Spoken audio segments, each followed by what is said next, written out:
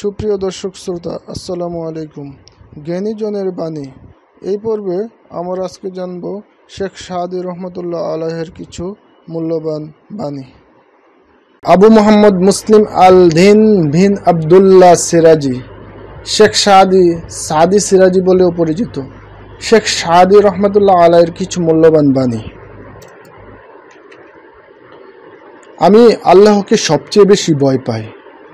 তারপর সেই মানুষকে ভয় পায় যে আল্লাহকে মোটেও ভয় পায় না। যে মিথ্যায় মঙ্গল নিহিত তাহা অসৎ উদ্দেশ্যে প্রণোদিত সত্য অপেক্ষা শ্রেষ্ঠতর। হিংস্র বাঘের উপর দয়া করা, নিরহ হরিণের উপর জুলুম করার নামান্তর। তুমি বদ লোকে বলে সৎ, ইহা অপেক্ষা, তুমি সৎ, লোকে বলে বদ ইহা ভালো। যে সৎ হয়, নিন্দা তার কোন অনিষ্ট করতে পারে না। বল অপেক্ষা কৌশল শ্রেষ্ঠ ও কার্যকরী। মিথ্যাবাদীর স্মরণ শক্তি অধিক হয়।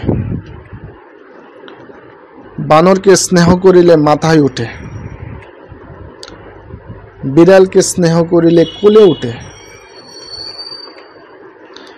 একজন ঘুমন্ত ব্যক্তি আর একজন ঘুমন্ত ব্যক্তিকে জাগ্রত করিতে পারে না। লৌহদণ্ড প্রস্তরগাত্রে যেমন বিদ্ধ হয় না, তেমনি কৃষ্ণ অন্তরেও সদুপদেশ ক্রিয়া করে না। বিদ্যা এমন সম্পদ যা বিতরণে বাড়ে। একজনের জুতো নেই, এই নিয়ে তার আক্ষেপ। তার আক্ষেপ গুছল, কেননা সে দেখল আরেকজনের পাই নেই। অযোগ্য লোককে দায়িত্ব দেওয়ার চরম দায়িত্বহীনতা। যে ব্যক্তি কাউকে গোপনে উপদেশ দিল, সে তাকে খুশি করল এবং সুশোভিত করল। আর যে ব্যক্তি প্রকাশ্যে কাউকে উপদেশ দিল, সে যেন তাকে লাঞ্ছিত ও কলঙ্কিত করল। ভদ্রলোক সেই যে সত্যের উপাসক। কোনো কাজেই প্রমাণ ছাড়া বিশ্বাস করিও না। তিনজনের নিকট কখনো গোপন কথা বলিও না। স্ত্রীলোক, জ্ঞানহীন মূর্খ, শত্রু। ইহকালে, পরকালে যাহা আবশ্যক, তাহা যৌবনী সংগ্রহ করিও।